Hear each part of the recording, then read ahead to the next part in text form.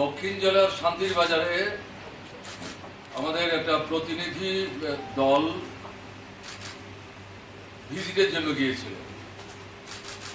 তার পেছনে মূল কারণ, গত পাঁচই মে, মহামতি কার্ল মার্কসের জন্মের দুইশত চার বছর পূর্তি উপলক্ষে ত্রিপুরার বিভিন্ন জায়গার মতো শান্তির বাজারে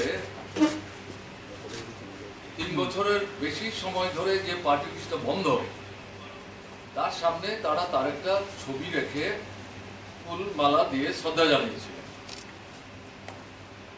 এরপর তারা বাড়িতে ফিরে যাওয়ার পর যারাই এই অনুষ্ঠানে অংশগ্রহণ করেছিলেন, বাছাই করে করে তাদের প্রত্যেকের বাড়িতে এবং এর মধ্যে বিশেষ করে একটু নেতৃস্থানীয় যারা, তাদের উপরও দৈহিক আক্রমণ সংঘটিত হয় এবং হাসপাতালে যাওয়ার মতো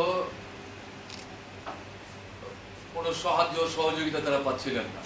শেষ পর্যন্ত এখান থেকে বাদলবাবুরা যোগাযোগ করেন, পুলিশ গিয়ে একজনকে হাসপাতালে নিয়ে যান, কিন্তু হাসপাতালও থ্রেটেন্ড হন ফলে সেখান থেকে সূর্য উদয় হওয়ার আগেই পালিয়ে চলে আসে। এগুলি সমস্ত শোনার পর আমাদের মনে হয়েছে যে এদের সাথে আমাদের সাক্ষাৎ করা দরকার। তো আজকে আমরা সেখানে যাই। কালকে ডাইরেক্টর জেনারেল অফ পুলিশ তাকে আমাদের এই যে ভিজিটটা হবে, আগাম, জানানো হয় এবং কারা কারা যাবেন সেটাও আমরা উল্লেখ করি।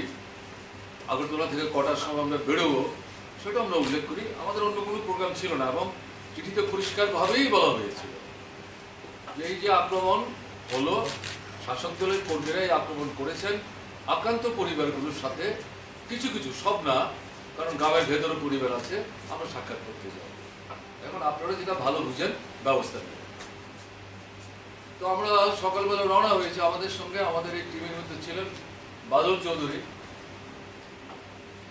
নারায়ণকর প্রাক্তন রাজ্যসভার সদস্য আমাদের পার্টি নেতা এবং ওই এলাকাটাতে পার্টি ইত্যাদি দেখবার ক্ষেত্রে তার একটা বিশেষ দায়িত্ব আছে। সুধন দাস বিধায়ক।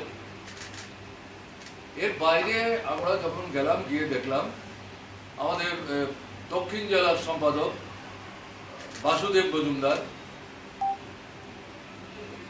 সদ্য মানে প্রাক্তন বিধায়ক।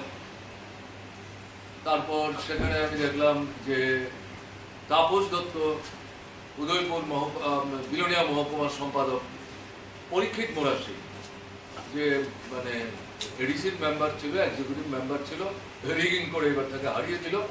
সঙ্গে আরও অন্যান্য ছিল, সবাইকে তার আমি চিনতে পারিনি। তো এরকম জায়গায় আমরা যখন শান্তিবাজারে ঢুকলাম, ডাক বাংলাটা যেখানে আছে, তার রাস্তার দুদিকে দেখলাম, হাতে কালো পতাকা নিয়ে সেখানে লোকজন দাঁড়িয়ে স্লোগান দিচ্ছে। এবং গো ব্যাক মেইন স্লোগান হচ্ছে মানিক সরকার, তারপরে ঋষি বাদল জ্যোতির নামটাও উল্লেখ করেছে, কারণ আমি তো ক্রস করে চলে যাচ্ছি সামনে দিয়ে। একটু গাড়ি প্রসিড করার পর, কারণ নির্দিষ্ট বাড়িগুলি আমি চিনি না, দেখলাম যারা রাস্তার দুই দিক থেকে এই স্লোগান দিচ্ছিল, খুব উত্তেজিতভাবে তারা এসে আমাদের গাড়িগুলি আটকাবার চেষ্টা করবে। কিছুক্ষণ পর আমাদের সামনে বাদলবাবুর গাড়ি ছিল। কিছুক্ষণ পর পুলিশ অফিসার আসলেন। এসে আমাদের অনুরোধ করলেন যে আপনারা নেমে আসুন। যে বাড়িতে যেতে চান সেখানে আমরা নিয়ে যাব। আমরা গেলাম এবং এই মানে তুমুল যে বলা যায় যে খুব অ্যাগ্রেসিভ যে বিক্ষোভ তারা দেখাচ্ছিলেন, তার মাঝখান দিয়েই আমরা অত্যন্ত শান্তভাবেই এগিয়ে যাওয়ার চেষ্টা করি। যেই বাড়িতে আমরা গেলাম, এই বিক্ষোভকারীরা সেই বাড়িতেই আবার ঢুকে যাওয়ার চেষ্টা করছিল তো যাই হোক, তাদের বাড়ির দরজাও আটকে দেয়, পুলিশও উদয় সেখানে। বাধা রাধা দেয়, শেষ পর্যন্ত আমরা ভেতরে গিয়ে কথাবার্তা বলতে শুরু করি। তাদের কাছ থেকে সেদিনের ঘটনা আনুপাতিক জানার চেষ্টা করছিলাম। তো, ধরুন মিনিট দশ পনেরো কথাবার্তা বলার পর শান্তিরপুর শান্তিরবাজার থানার যিনি ওসি, সেই ভদ্রলোক আসলেন, এসে হাত জোর করে দাঁড়িয়ে বললেন যে এরপরে যে বাড়িটিতে আপনাদের যাওয়ার কথা, ওখানে তো আপনাদের নিয়ে যাওয়া কঠিন হয়ে যাবে। তো আমি তো ব্যাপারটা বুঝে উঠতে পারছি না, সেই বাড়িটা কোথায়, কি ব্যাপার? তারপরে বাদলবাবু আছেন, আমাদের অন্যান্য নেতৃত্ব আছেন, তারা জানতে চাইলেন, কেন, কি সমস্যা হবে? বলে না ওখানে তো গাড়ি নিয়ে যাওয়ার সমস্যা এবং মুড অফ দিস পিপল এটা এমন একটা জায়গায় চলে যাচ্ছে যে নিয়ন্ত্রণ করা খুব কঠিন হবে। যে কোনো ধরনের ঘটনা ঘটে যেতে পারে। গাড়ি নিয়ে গেলে গাড়িতে ঘুরিয়ে আনার সমস্যা হবে। তখন আমাদের বন্ধুরা বললেন, ঠিক আছে, আমরা হেঁটেই যাব। কিন্তু পুলিশ অফিসার, তিনি হাত জোর করে অত্যন্ত বিনয়ের সাথে বারবার বলছেন, এই ঝুঁকিটা আমাদের নিতে বলবেন না। আমরা তো বলা যায় যে একটু ঝুঁকি নিয়েই অনেকদিন পর শান্তির বাজারে আপনারা আসবেন।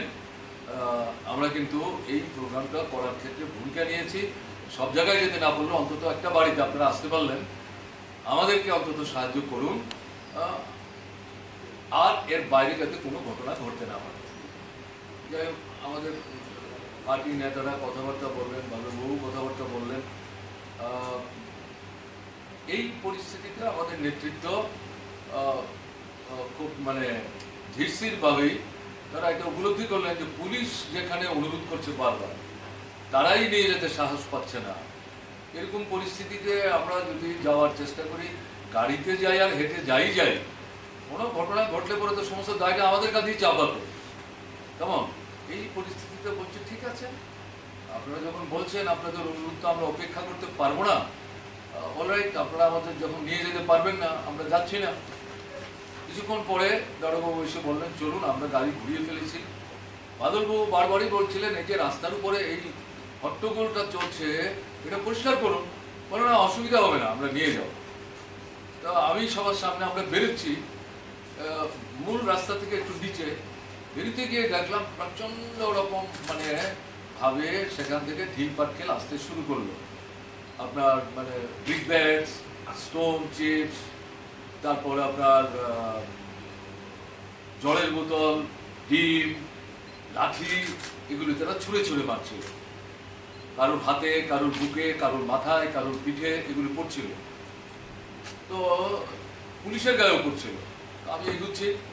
এগিয়ে রাস্তাটা উঠে আমি তখন বললাম, একটু জুড়ে শুনে আমি বলছিলাম, আরে পুলিশকে কেন তোমরা আক্রমণ করছ? তারা তো এসছে আমাদের প্রোগ্রামটা সাহায্য করার জন্য। তোমাদের যদি আক্রমণই করতে হয়, বাহাদুরিই দেখাতে হয়, আমরা তো দাঁড়িয়ে আছি, মারো না, আমাদেরই মারো, হাত তুলে আমি বলছি, মারো আমাদেরকে। এভাবেই বলছি। তো, কিন্তু পুলিশ অফিসার আমাদের সামনে দাঁড়িয়ে বলে, না স্যার, এখানে আর দাঁড়াবেন না, আমাদের আস্তে আস্তে তারা নিয়ে গাড়ি তুলবার চেষ্টা করলেন এবং চারিদিক থেকে ঢিল পাটকেল এগুলি আসছিল। তো এই যে ঘটনাটা ঘটলো, আমরা কিন্তু এখানে শান্তির বাজার থানার দারোগা বাবু ছাড়া জেলার উচ্চ পর্যায়ে কোনো পুলিশ অফিসারকে আমাদের সাথে কথা বলতে যেতে দেখিনি। তাহলে কালকে আমরা ডিজিকে চিঠি দিয়েছি, কে কে যাব আমরা উল্লেখ করেছি, কোথায় যাব আমরা উল্লেখ করেছি, কেন যাব আমরা উল্লেখ করেছি এবং সবচেয়ে বড় কথা হচ্ছে, এই সাউথ জেলাতেই, এর আগেও মুহুরিপুরে এই ধরনের আক্রান্ত মানুষকে দেখতে যাওয়ার মুখে রাস্তায় পুলিশ অনুরোধ করে আমাদের যাওয়াটা বাতিল করতে প্রায় বলা যায় অনুরোধ করে আমাদের বাধ্য করে। ওখানে যাওয়াই যাচ্ছে না। তাহলে এর একটা গ্যাপে গিয়ে আজকে যখন আমরা গেলাম, এটা তো অন্তত পুলিশের উচ্চ স্তরের কারণ না কারণ সেখানে উপস্থিত থাকা দরকার ছিল, কথা বলা দরকার ছিল। কে যাচ্ছেন? আমরা তো নামটা উল্লেখ করে দিয়েছি।